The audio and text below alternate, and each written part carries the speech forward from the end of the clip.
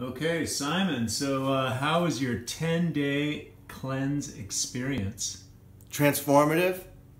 Um, I became my own lab rat, my own guinea pig, which I, I often like doing with things. So, this one was a, a big one for me. The most I've ever gone is, I think, four days on a juice cleanse. So, it was actually easier than I thought. Um, because I could eat an apple in the morning and snack on a carrot and an avocado throughout the day and have that, you know, shake and how it's scheduled to where every two hours you're putting something in your body.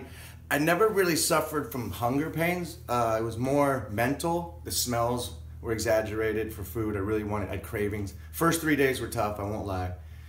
By the end of it, I was sleeping good, sleeping better and better each night. I think by the end, I was almost at eight hours of sleep a night, which is actually more than I normally sleep. So it was interesting to see how quick my body got acclimated to this um, diet of raw vegan, I guess. Uh, yeah, I mean, no sugar, no bread, no meat. It's a trip what your body goes through. I noticed I just kind of tightened up. I noticed my eyes getting wider. I noticed my skin looking better. Um, and I kind of felt overall better. Um, energy wise, I, you know, I, I was told by you to, to just rest and hydrate.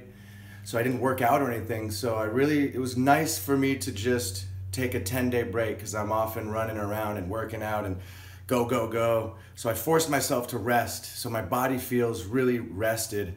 Um, I do confess, last night, day 10, at the very end, I went out and had a couple beers and a piece of pizza but I'm not going to beat myself up about it. I pretty much made it to like exactly 10 days really if I do the math. It was just the night of that I started till the, the end of the night if you think about when I stopped eating anyway. So it was exactly 10 full days. Although I probably should have went to bed, not done that, but I'm not going to beat myself up about it. Um, and I'm going to do it again. I'd like to do this every year. I'd like to do even maybe some shorter ones throughout the year, maybe three day cleanse here and there, whatever you recommend and I want to uh, now make my diet. You know, I'm not gonna go raw vegan. I still want to have me some grass-fed steak here and there. You know, quality meat in smaller portions. Reversing the plate as opposed to a huge steak with just a little side salad. I'd like to have more greens and just a little bit of good quality meat.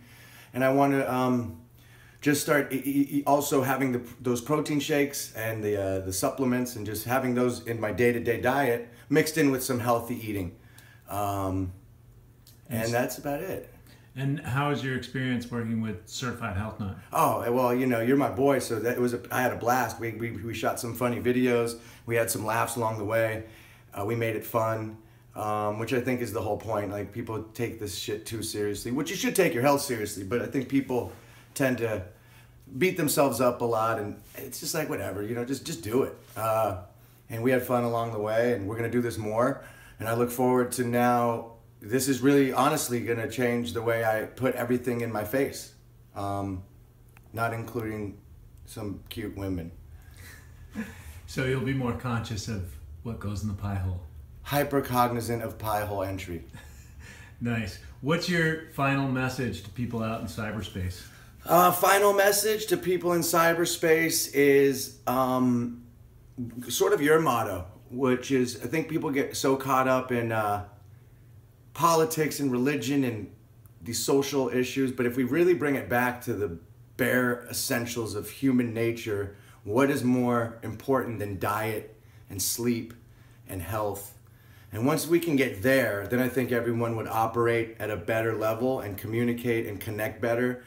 Um, and I feel like that is more important than any of that other bullshit. So if you're, and I think here in America and in the West, we we have our diet isn't right. You know, I've traveled the world and I've seen how it is in other places, and we need to wake up and start eating better and having more plant-based, organic, non-GMO foods going in our pie hole, quality meat, supporting local farmers, staying in the peripheral at your supermarket and avoiding the mass produced shit food in the middle and just sticking to your organic vegetables and some grass fed meat.